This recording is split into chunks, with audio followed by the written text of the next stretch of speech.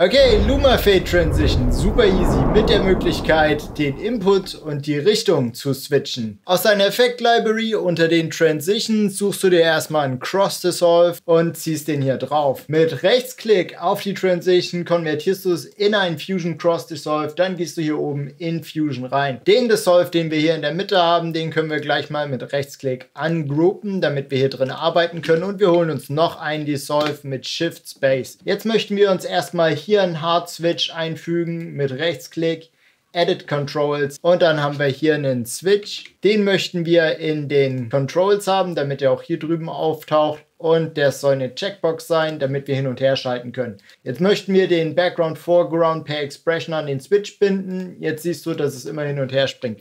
Das wird unser Switch, der auswählt, welchen Input wir als Gradient nehmen wollen. Also suchen wir uns mit Shift Space eine Bitmap Node aus fügen die hier ein und stellen die im Channel auf Luminance. Damit haben wir jetzt einen Luminance Gradient, den wir halt hin und her switchen können. Und das können wir jetzt verbinden in den pinken Pfeil der Dissolve Node. Und hier können wir unter Operation von Dissolve auf Gradient Vibe umstellen. Das möchten wir uns jetzt noch als Makro speichern, aber bevor wir das tun, möchten wir dem Ganzen schon mal ein Easing mitgeben. Also gehe ich in unseren Original Dissolve 1 in den Anim Curves Modifier, zu dem ich übrigens ein super krasses Tutorial gepostet habe. Oben kannst du es sehen.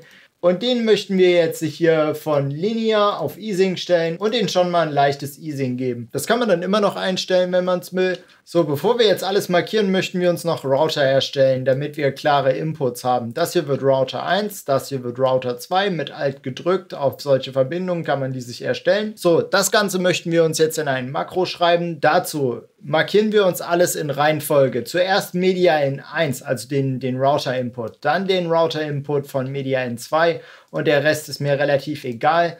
Alle anhaken, mit Rechtsklick drauf, Makro, Create Makro. Jetzt möchten wir uns in der Dissolve Node möchten wir uns natürlich den Switch Input nehmen und in der Bitmap möchten wir uns den Gradient invertieren können. Und dann nehmen wir in dem Anim Curves Modifier, der ja bestimmt, wie unsere Transition geeased wird, nehmen wir uns Curve, In, Out, Out und Lookup mit und das war's.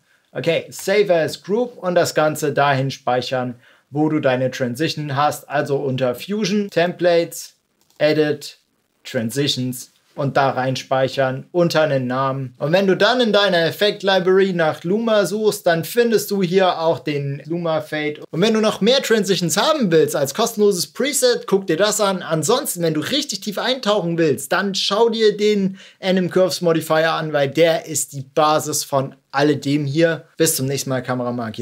Ciao.